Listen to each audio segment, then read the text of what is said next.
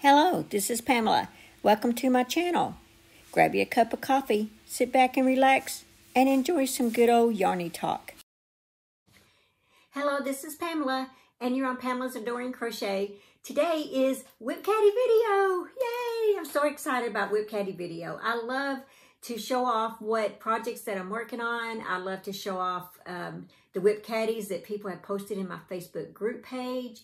And there's a lot of you guys out there that have WIP caddies that um, haven't posted in my Facebook group page, but I would love it if you did. And we can show off what all, you know, how you power your WIP caddy up. Um, okay, so let's go ahead and look at that clip now. And here we have Jane's new cart. She is working on the Sorella Everyday Cardigan uh, with the yarn on the top and on the bottom she is uh, working on the crochet along for the towel toppers. Now Debbie looks like she's got a lot going on there with all the project bags that she has in her WIP caddy. It looks a lot like mine.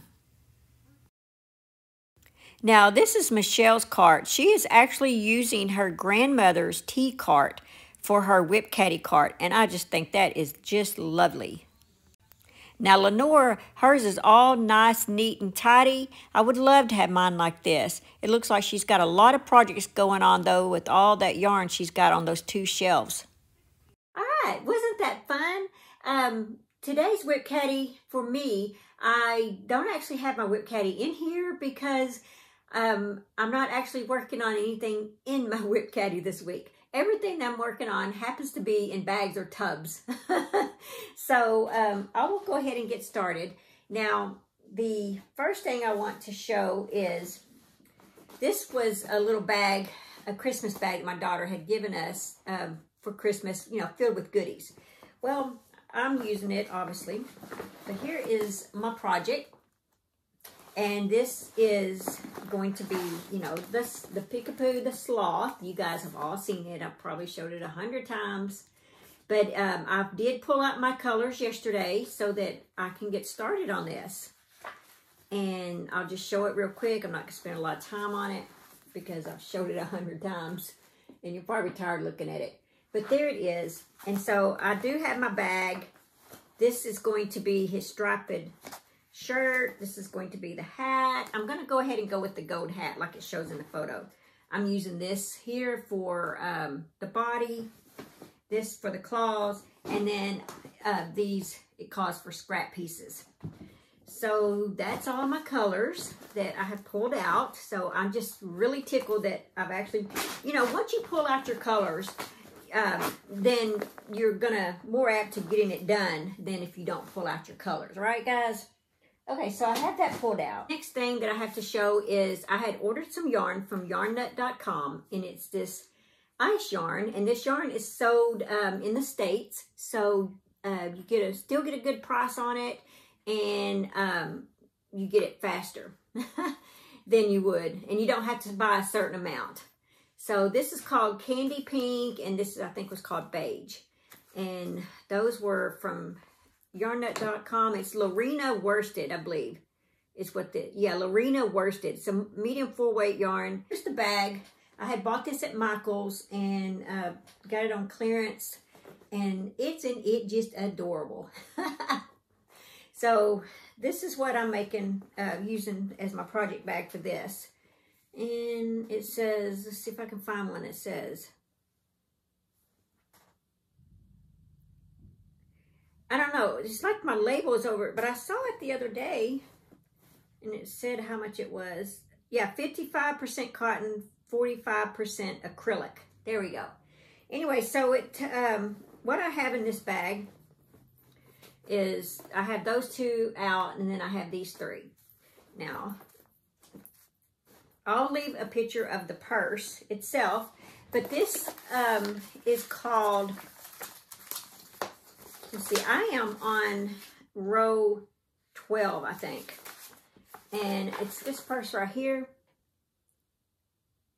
I'll leave a picture of it. All right, it says it's for experienced. Um, so far, I'm okay. And it says it even comes with a video that you can go by to help you once you get, hold on, I'm gonna make sure I got enough yarn pulled out so I don't pull out my stitches.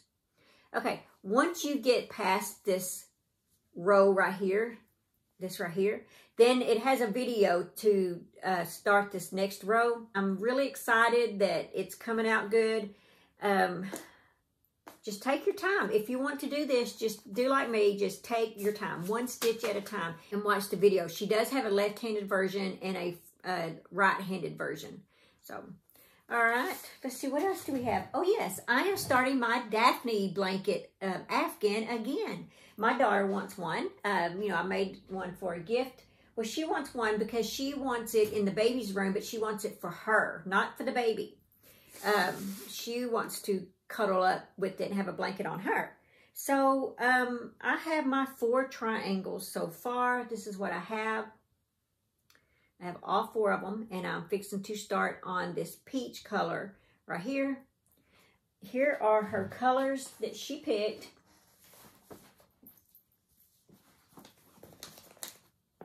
What is that? Okay, here are the colors that she picked right here. The gray is already out because I already did the gray and I'm not putting any more gray in it. Um, I should have probably used a darker gray because to me the gray doesn't stand out that much. I was going to have gray and then this was going to be gray. But then when I saw how light the gray was, I decided to make two rows of this because um, for the five colors, one of the colors is going to have to have two rows unless I do um, unless I make it one row short and I don't, I want it kind of big, you know, because she's an adult. So, um, anyway, so I'm going to go ahead and just do, instead of two gray rows like I did my other one, I'm going to do two peach rows. But that's her color. She, that, that is a, like a navy blue. That's a salmon and peach, and then this is what it's all trimmed in, and then that's it's turquoise. And then, like I said, I already pulled the gray out. But that's the Daphne Afghan. So I am working on one of those, and um, let's see, this H hook is for that. So I say, oh, and then the other thing is, I am, to make that bigger, I am using a K hook for this. It is not what they call for. I think they call for an I hook, but they also have smaller yarn. And so since I want mine to be bigger and more adult size, um, I am using a four weight yarn and a K-hook. And, um, you know, I've already made one of these. It turned out beautiful. And so uh, that's my second one. All right, so I have that. I have the purse project going. I have the Daphne blanket going. I'm fixing to be starting the um, the sloth and then the last but not least, I am finishing up my finishing up my farmhouse granny. That is Annie's pattern. And here is where I'm at on this. And I'm excited about this one. I love these colors. I tried to go by the colors the best I could in the photo. Tried matching it matching things up. Let's see. I try my best to match these colors up the best that I could. Um, Because, you know, you guys hear me all the time saying I'm not good with coordinating colors. Because most of these times when you see me coordinate colors, it's because I'm copying a pattern.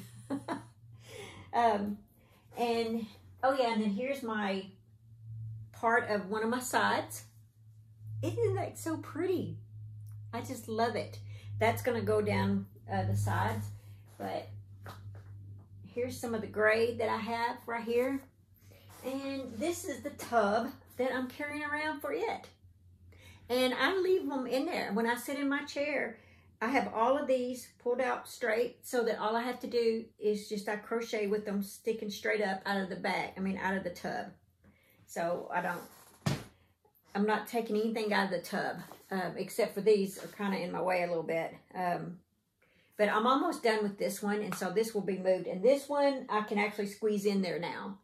Um, I don't know why I still have it on top, but I do. Uh, what size of hook am I using with this? Because I've already pulled the hook out. Yeah, it's a K-hook. I thought it was a big hook. So I'm using a K-hook with that. So I'm really excited. Most of this is just um, Craft Smart yarn, Big Twist yarn. There's a few Red Heart yarn in here. um, I think the cafe latte, that's the red heart. That's cafe latte.